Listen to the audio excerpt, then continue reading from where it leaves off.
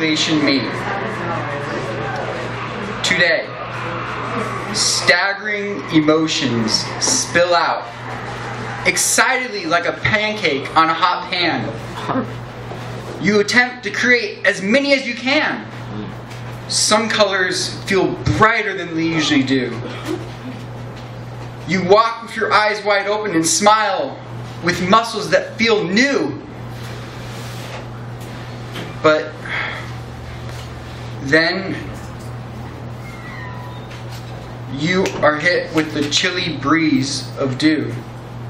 It breaks your foot and you can't move. It's in your head. It's a hole in your brain. It feels like rain that sticks you with a needle and cuts your hair. I am back, bald and bare. Everyone was there.